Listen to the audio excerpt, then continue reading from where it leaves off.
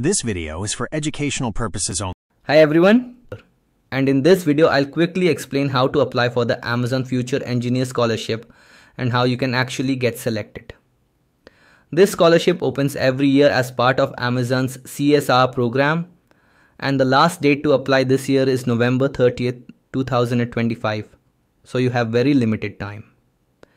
Only girl students in the first year of BE slash BTech or integrated MTech preferably in CS or IT, are eligible. You must have passed your intermediate or equivalent exam after 2023. Your admission should be based on merit rank from state or national entrance exams or through the official counseling process, and your family income should be below 3 lakhs. The benefits of this scholarship are huge. You get 50,000 rupees every year for 4 years, 2 lakh rupees total, a free laptop if selected, free Amazon technical training. The selection process is simple. First, fill out the online form. Then Amazon verifies your eligibility and family background.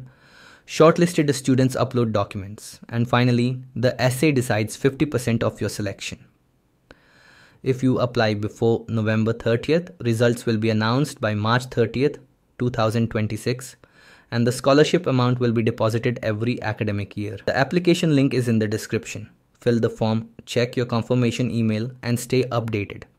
For more updates like this, subscribe to the channel. Thanks for watching.